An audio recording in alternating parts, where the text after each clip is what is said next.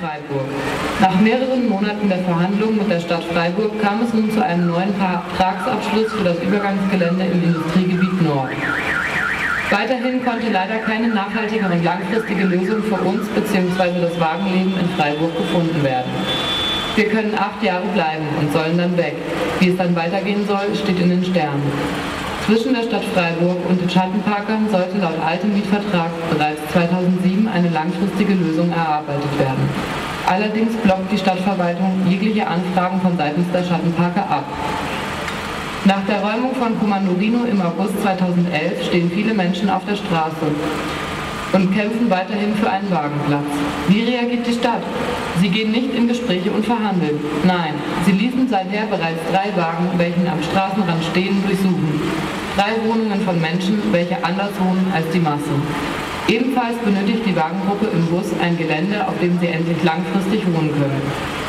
Nachdem sie eine private Lösung gefunden hatten und auch hier aufgrund politischer Inakzeptanz wieder gehen mussten, wurde wieder deutlich, welche Linie Städte fahren, wenn es um alternative Wohn- und Lebensformen geht. Nur ein Beispiel, wie mit Menschen umgegangen wird, die im Wagen wohnen.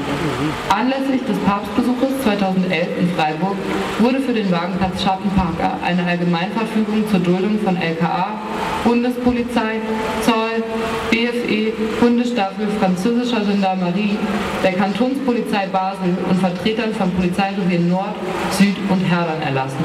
Um 8 Uhr morgens wurde von ca. 150 Beamten rücksichtslos und ohne Vorankündigung in das Gelände gewaltsam eingedrungen, Türen von LKWs und Bauwagen aufgerissen und schlafende Menschen aus ihren Betten geholt. Ehe man sich versah, wurde man schon gefilmt, Befragungen und Beleidigungen zur Wohnsituation sowie anderen Schikanen ausgesetzt. Es wurden Nummernschilder notiert und Personenkontrollen durchgeführt. Die Einsatzkräfte hielten sich von 8 bis 14 Uhr auf dem Wohngelände und somit in der Privatsphäre der Bewohnerinnen auf.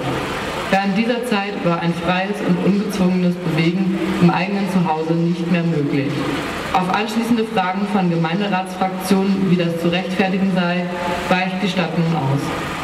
Was sollen wir da noch sagen, außer wir fordern die Akzeptanz und die Bereitschaft einer dauerhaften Lösung für Wagenleben in Freiburg, in Berlin und überall, für eine freie Wahl der Wohnform. Legt uns keine Steine in den Weg, sonst überlegen wir uns, was wir damit machen. Grüße an Rummelplatz und nehmt euch, was ihr braucht und lasst euch nicht vertreiben. Alles Gute für euch aus Freiburg. Aktuelle Situation der Schattenparker und des Lebens im Wagen in Freiburg. Nach mehreren Monaten der Verhandlungen mit der Stadt Freiburg kam es nun zu einem neuen Vertragsabschluss für das Übergangsgelände im Industriegebiet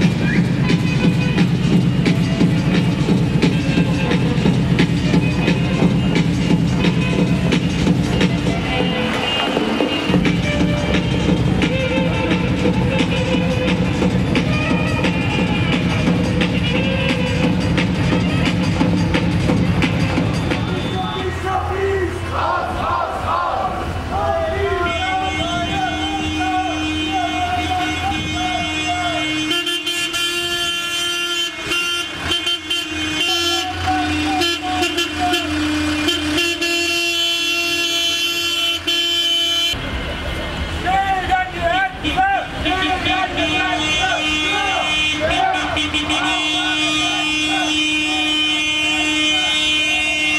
ha.